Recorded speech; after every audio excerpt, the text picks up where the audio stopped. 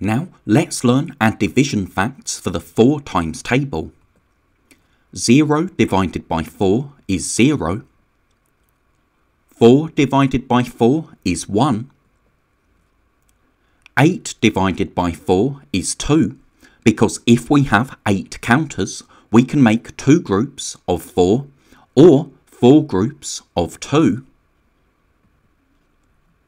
12 divided by 4 is 3, because if we have 12 counters, we can make three groups of 4 or four groups of 3.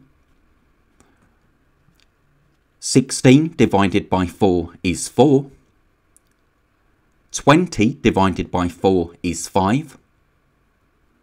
24 divided by 4 is 6. 28 divided by 4 is 7.